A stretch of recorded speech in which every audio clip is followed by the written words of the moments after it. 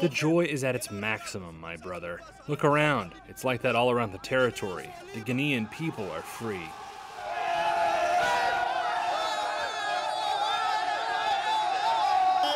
It's a victory for the Guinean youth in general. We are really happy. We say well done to the Guinean army, to the special forces. The youth has won. Today we are free. Everyone is free today.